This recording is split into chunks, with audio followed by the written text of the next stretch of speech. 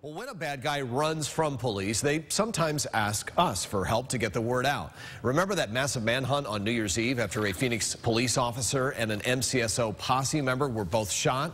Well, officers on scene used reverse 911 calls, social media, and us to tell you to stay inside.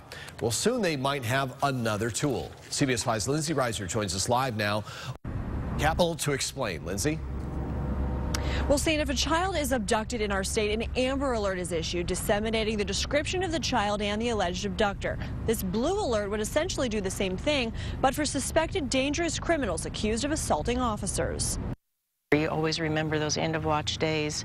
You always remember those anniversaries, those birthdays where they're they're gone. Jan Blazer Upchurch lost her husband, DPS Sergeant John Blazer, in 1990 when he was killed by a drunk driver. It changed my life forever, and um, I really had to find a way to learn to heal. Now she helps others heal as the president of Concerns of Police Survivors. She's pushing for a blue alert in our state that would spread information to our TVs, our highways, even our cell phones. If they've been assaulted, if they've been killed, uh, then we can be uh, the eyes and the ears. Really, the community can be the eyes and the ears. And the idea is to get information out as quickly as possible.